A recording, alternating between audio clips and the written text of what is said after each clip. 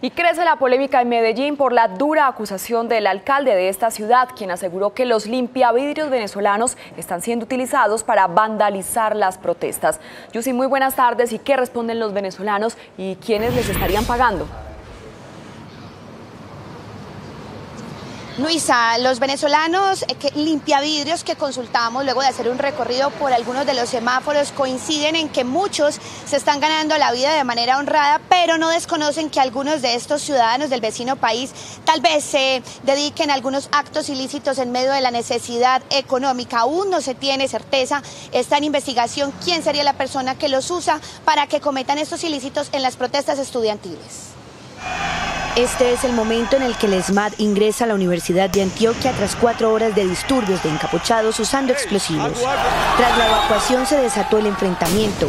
Las cámaras de seguridad grabaron a este grupo de participantes en la protesta estudiantil portando elementos de aseo en sus manos. Otros instalan guayas para atentar contra la movilidad, especialmente de las motocicletas.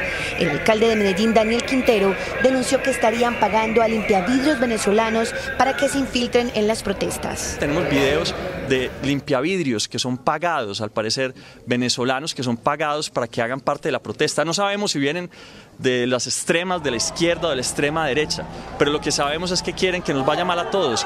Ante el señalamiento, el rector de la Universidad de Antioquia aseguró que el campus tiene ingreso libre y que es difícil establecer si serían o no estudiantes quienes hacen parte de los disturbios. Que la universidad es un, es un campus público, abierto a todas las personas que quieran ingresar allí, que vean allí un espacio para muchos de los servicios que prestamos. Personas encapuchadas que yo no puedo decir si son estudiantes, precisamente la capucha tiene unas grandes dificultades y es que uno no sabe quién es la persona que está detrás de ella. El ingreso del SMAT desató polémica, pues directivos de la universidad piden que el diálogo sea concertado y no las vías de hecho para desatar más violencia.